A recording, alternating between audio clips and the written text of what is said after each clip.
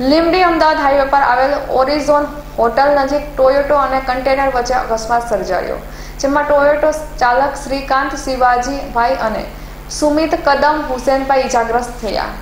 ત્યારે આ બંને ઈજાગ્રસ્તને સારવાર અર્થે લીમડી હોસ્પિટલ ખાતે ખસેડવામાં આવ્યા. વધુ સારવાર અર્થે અન્ય હોસ્પિટલમાં રિફર કરવામાં આવ્યા. અહેવાલ કલ્પેશ વાઢેર સુરેન્દ્રનગર.